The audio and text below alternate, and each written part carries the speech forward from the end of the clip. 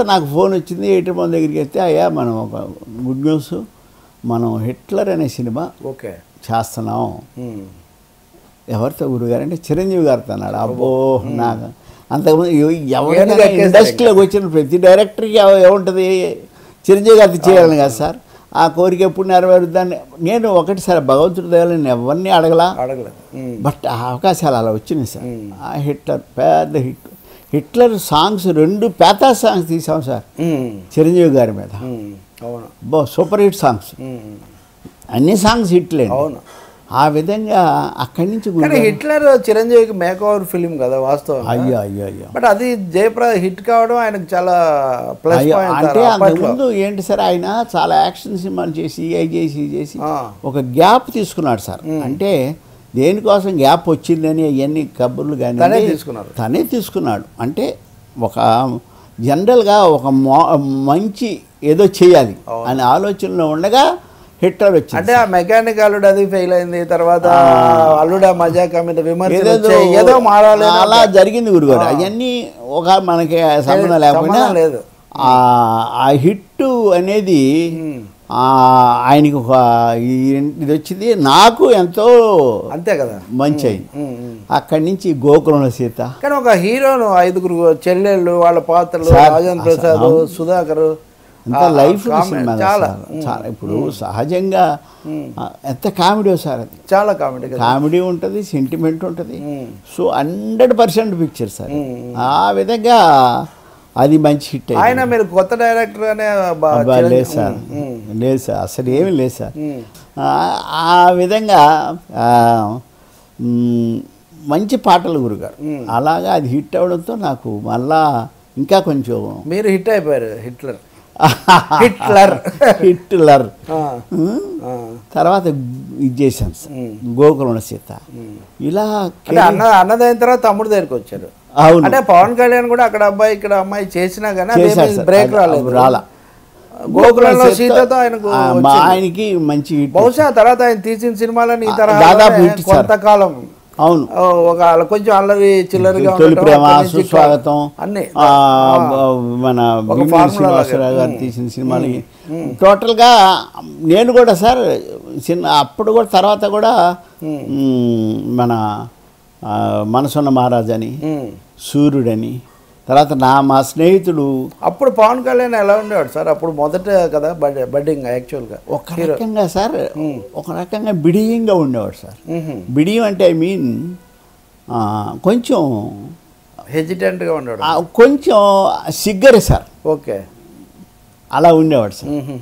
ముత్యాల సుబ్బయ్య గారు హిట్లర్ అనేది వాస్తవానికి తెలుగు సినిమాల్లో మీ జీవితంలో చిరంజీవి నట జీవితంలో కూడా ఒక మలుపు లాంటిది తప్పనిసరిగా ఒక అంటే ఒక అన్న ఆయనకు అందరూ చెల్లెళ్ళు ఉండటం వాళ్ళ పట్ల బాధ్యత చాలా నిగ్రహంగా తీసిన సినిమా కదా. చాలా పకడ్బందీగా చాలా పకడ్బందీగా పైగా సార్ ఒక అన్నా చెల్లెల అనుబంధానికి ఒక పెద్ద తార్కాణం సార్. అంటే తను ఎంత సాక్రిఫైస్ చేశాడు. చివరికి ఆ చెల్లెళ్ళే. అన్నని అర్థం చేసుకోలేరు. ఆ, అసలు టోటల్గా అండి చిరంజీవి గారు డ్రెస్ కానించి ఉమ్. ఆయన గెటప్ చూడండి. గ్లామర్ అవును. కంటే కూడా. Character fitness. అవునవును అవును ఆ షర్ట్స్ అప్పుడు హిట్లర్ షర్ట్స్ అనేవాడు సార్ అవును ఓకే చిరంజీవి గారు వేసిన షర్ట్స్ అవును హిట్లర్ షర్ట్స్ అనేవాడు సార్ అవును. ఆ డ్రెస్ కానీ ఆ గెటప్ కానీ గ్యాంగ్ లీడర్ తర్వాత మళ్ళీ హిట్లర్ షర్ట్స్ అమ్మారు జనం. అవును. ఆయన ఆఫ్ షర్ట్స్. క్రమ పద్ధతిలో అంటే చాలా డిగ్నిఫైడ్గా పాత్రోచితంగా. అబ్బో ఎంత అసలు చిరంజీవి గారు కూడా ప్రాణం పెట్టాడు సార్. ఇంత బాగా చేశాడు. ఇంత అంటే ప్రిస్టేజెస్ తీసుకున్నారు కదా ఆయన దాన్ని. Stages sir. పైగా అండి మాకు మాకు లైఫ్ అండి అది. ఉమ్. ఆయనకే అనుకోండి ఆయనకి వందలో ఇదొకటి. కానీ మాకు అలాంటివి మళ్ళా మళ్ళా రావు కదా సార్. అవును అందువల్ల మ- మేం కానీ మాకు తృప్తిగా మాకు వచ్చే వరకు మేము గురుగారిని అడగడం ఆయన అసలు మనస్ఫూర్తిగా హ్యాపీగా చేయడం. ఇలాగా మంచి మంచి మ్యూజిక్ మంచి సాంగ్స్ అవును. ఇలా అన్నీ చాలా బాగా కుదిరినాయి సార్. సుబ్బయ్య గారు, ఆ సినిమాలో కొంత అండర్ స్టేట్మెంట్ లాగా అంటే చిరంజీవి ఎక్కువగా యాక్షన్ సినిమాల లాగా అవ్వకుండా అస్సలు ఎవరన్నా ఏదైనా వ్యాఖ్య కామెంట్ చేసినా ఆగి మళ్ళీ చేయడం ఇదంతా చాలా పాత్రను అవును. మలచడానికి మీరు చాలా శ్రమపడి ఉండాలి. మలచడం అంటే గురుగారు మాతృక మలయాళం మలయాళం. కానీ దానికంటే మనం చాలా. బాగా నేటివిటీని బాగా పైగా మన చిరంజీవి గారి క్యారెక్టరైజేషన్ కూడా సార్. రొటీన్ యాక్షన్ హీరో లాగా ఉండదు సార్. ఒక అన్న చెల్లెల్ని అంటే ఎలా. అవుతాడు. అది తర్వాత సార్ సెంటిమెంట్ సీన్స్ కూడా చాలా అసలు చిరంజీవి గారి మీద రెండు మీకు సెంటిమెంట్లు బాగా పండిస్తారని పేరు కదా. సెంటిమెంట్ సుబ్బయ్య గారు నాకు. నాకు ముందు నుంచి కూడా సెంటిమెంట్ కమిట్మెంట్ సెంటిమెంట్ రెండు ఉన్నాయి సార్. సెంటిమెంట్ సీన్స్ కానీ చిరంజీవి గారి మీద రెండు ప్యాథటిక్ పాటలు అంతకుముందు ఏ సినిమాలు వచ్చినట్టు నాకు గుర్తులేవు లేవు సార్. ఆ. మమ్మల్ని అందరినీ అడిగారు సార్ ఎంత ధైర్యం అయ్యా మీకు అని కూడా. ఏమంటే సబ్జెక్టు డిమాండ్ ఉమ్. ఆ సాంగే తప్ప మనం ఎన్ని మాటలు చెప్పినా దానికి సెట్ కాదు సార్. అవును. పైగా సాంగ్ సీన్స్ నేను ఇప్పుడు ఇలాంటి సాంగ్స్ నేను మాస్టర్లు ఉండరు సార్ నాకు. నేనే చేస్తాను ఓకే. ఇప్పుడు ముందు నుంచి కూడా. ప్యాథరిక్ సాంగ్స్ ఇలాంటి సిచ్యువేషనల్ సాంగ్స్ నేనే చేసుకుంటాను మాస్టర్ని కూడా పెట్టను. ఎందుకంటే వాళ్ళ రూట్ వేరుకుంటాం. అదేలేండి. అంటే వాళ్ళు చేయలేని కాదు. మనం అనుకున్న మ్యాటర్లో రాదని ఉద్దేశం. ఆ విధంగా హిట్లర్ అన్ని సాంగ్స్ చాలా బాగా వచ్చేది క్లైమాక్స్ కానీ కామెడీ కానీ.